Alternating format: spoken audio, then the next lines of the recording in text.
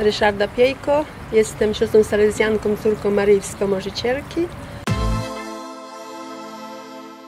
z Drohobyczki, diecezji przemyskiej.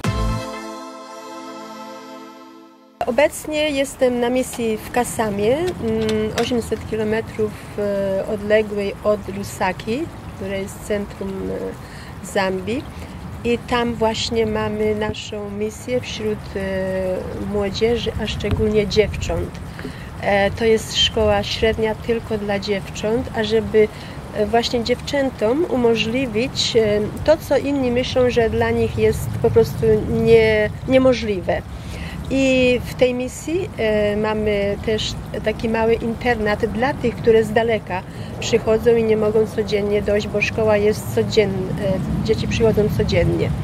Więc e, obecna moja, moja praca, moje zadanie jest e, administracyjne we wspólnocie, ale jestem odpowiedzialna za dziewczęta w tym naszym internacie, więc ta pomoc w codziennym byciu z nimi, w sprawach programu, który one też uczestniczą w tym internacie, po prostu takiego duchowego formacji duchowej i tej formacji takiej normalnej, życiowej.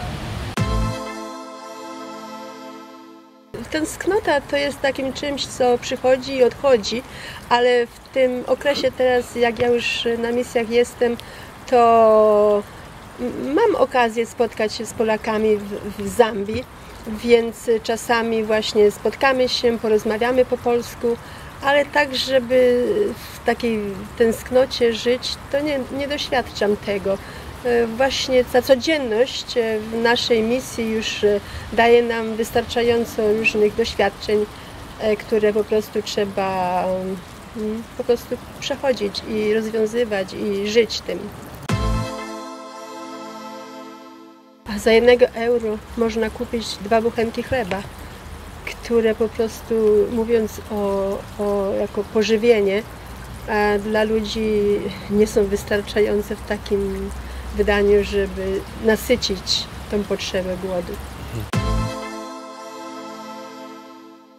Misja, która, w którym ja tam uczestniczę, jest po prostu um, świadczenie Boga, świadectwo Boga, miłości Bożej wśród tych ludzi, w których pracuję, służąc e, dzieciom i młodzieży tej ubogiej, potrzebującej z radością w charyzmacie księdza Bosko i matki Mazzarello.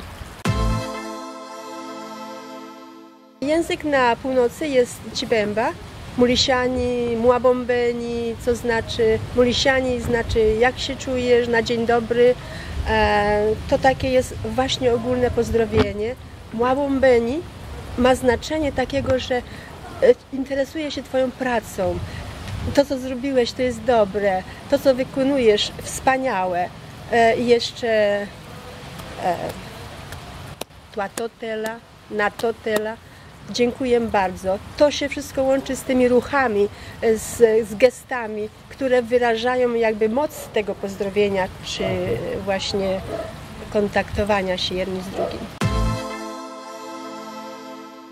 marzenia są czymś, e, co po prostu wyraża się tej naszej codziennej misji że nasz charyzmat e, księdza Bosko i matki Mazzarello salezjański w pracy z młodzieżą, z dziećmi, także z dorosłymi jest tym pragnieniem, ażeby były nowe powołania, żeby ci, którzy mogą kontynuować właśnie e, naszą misję salezjańską, byli z, z miejsca, z, z, z ludzi lokalnych, ta młodzież. No i właśnie to obejmujemy naszą modlitwą, naszym pragnieniem i tą po prostu nadzieją, że powołania będą przychodzić, które już są, ale że będzie się kontynuować właśnie w tym pracy dla przekazywania dobrej nowiny ludziom, szczególnie właśnie w tej pracy wychowawczej wśród młodzieży, e, pracy pastoralnej też wśród młodzieży i ludzi.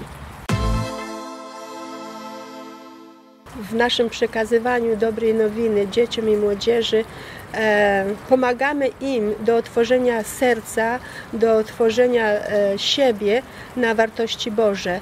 A drugą e, po prostu częścią tego cudu Bożego wśród misji to jest też, owocem jest e, to właśnie, że młodzi e, po prostu decydują się na życie zakonne w naszym zgromadzeniu salezjańskim, córek Maryi Wspomożycielki, bo pra pragną, ażeby być wśród młodzieży i kontynuować właśnie to, co uważają za za wartość, za wzrost w ich życiu i odnowę swojego życia w połączeniu z życiem e, innych.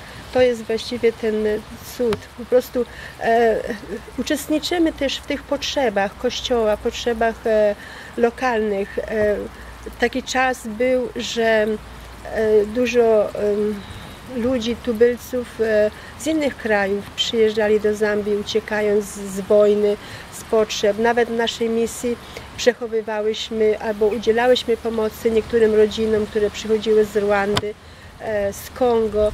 I oni też uczestniczyli z nami przez jakiś czas i, po prostu e, tam też dzielili się, że to, co otrzymali, było dla nich radością, było dla nich pomocą właśnie w tych trudnościach, i cierpienia, które ich do, dotykały. I, I to są takie po prostu codzienne wyrazy Boga w naszej misji dla innych. Każdy z Was jest misjonarzem, bo wtedy właśnie ta całość Kościoła misyjnego tworzy e, wielką e, pomoc, tworzy wielką rzeczywistość, w której e, nie tylko bezpośrednio można uczestniczyć, ale można uczestniczyć w wielkiej odległości jedni z drugimi. I w tym na te same potrzeby, na te same e, po prostu e, wypełnienie pragnień, na te same po prostu plany życia dla innych. I ja jestem bardzo szczęśliwa, że chcę powiedzieć dziękujemy E, w imieniu tych wszystkich, którzy uczestniczą e, w pomocy, która przychodzi do Zambii, pomocy, która jest e, po prostu zorganizowana na różne projekty. I właśnie to codziennie, na przykład u nas w Kasamie mamy codziennie różaniec z dziećmi, z młodzieżą o godzinie 17 i wtedy właśnie też wkładamy intencje wszystkich, którzy z nami współpracują, bo chcemy e, czuć właśnie tą bliskość jedni drugich. A w taki sposób chociaż tyle możemy po prostu się odwdzięczyć. No i chciałabym jeszcze poprosić, żeby to kontynuować, żeby właśnie ta misja miała ciągłość, żeby ta misja po prostu przynosiła wspólne owoce, E, właśnie łącząc się jedni drugimi. Ludzie po prostu bardzo dużo pomagają. Świeccy swoją modlitwą, cierpieniem, materialnym wsparciem i to tworzy tą całość. I za to jestem bardzo wdzięczna i jak e, również e, pragnę zachęcić, żeby właśnie serca nie, nie były po prostu zniechęcone, nie mamy odpowiedzi, nie wiemy, e, czy to pomaga, czy nie. Zawsze pomaga, zawsze daje siłę innym i zawsze daje radość innym. E, nie ma żadnej e, ofiary, która jest mała. Każda ofiara jest wielką, wielkim darem, wielką pomocą i za to na wszystkim wyrażam wdzięczność.